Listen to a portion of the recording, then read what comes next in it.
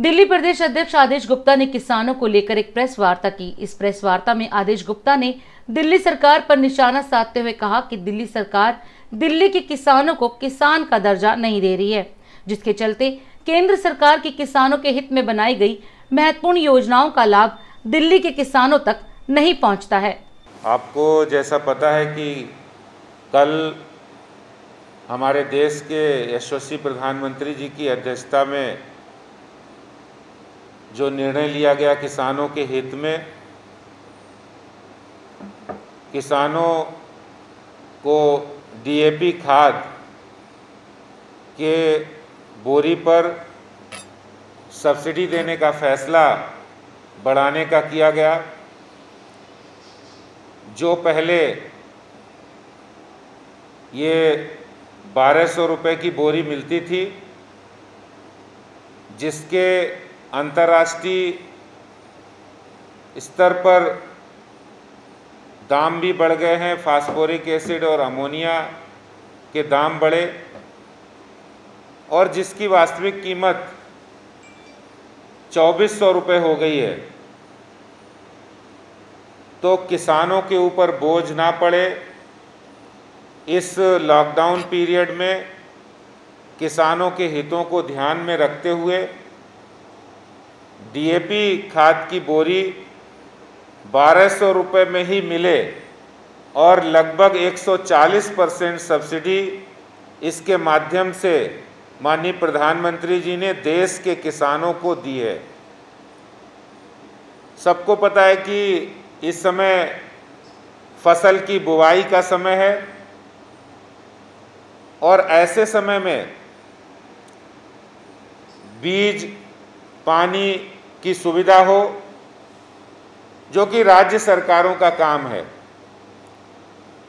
केंद्र सरकार लगातार किसानों के हित में काम करती एमएसपी बढ़ाने की बात हो या फिर उनके लिए किसान सम्मान निधि देने की बात हो अभी अभी माननीय प्रधानमंत्री जी ने किसान सम्मान निधि की एक किस्त रिलीज़ की है, केंद्र सरकार ने। मैं जो माननीय प्रधानमंत्री जी ने और केंद्र सरकार ने जो निर्णय किसान के हित में लिए हैं, और इससे किसानों को बहुत बड़ा लाभ होने वाला है, क्योंकि इस संकट की घड़ी में आर्थिक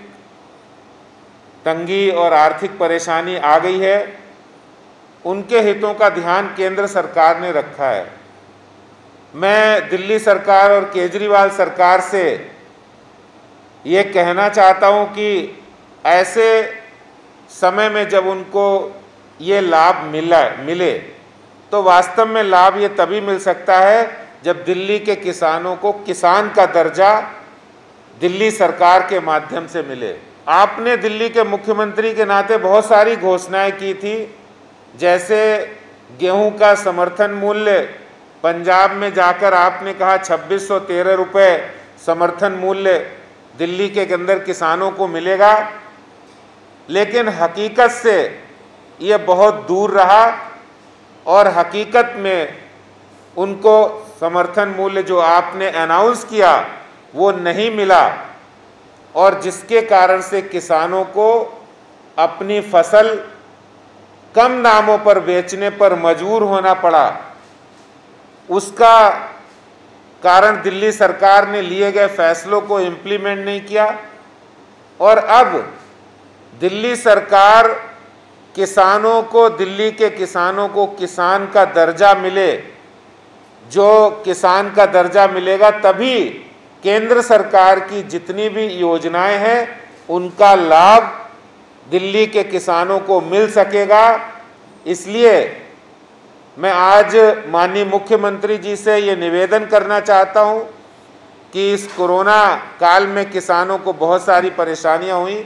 जिसको ध्यान में रखते हुए केंद्र सरकार ने उनको सब्सिडी डीएपी खाद में बढ़ाई है, उस सब्सिडी को दिल्ली के किसानों का भी फ़ायदा मिले। दिल्ली के किसानों को भी इसका लाभ मिले, इसलिए आप तुरंत दिल्ली के किसानों को किसान का दर्जा तुरंत दिलवाए ताकि वो लाभ ले सके केंद्र की योजनाओं का, किसान सम्मान निधि का और डीएपी खाद की जो सब्सिडी मिली, सस्ते दरों पर उनको खाद मिल सके, इसका लाभ उन्हें मिल सके।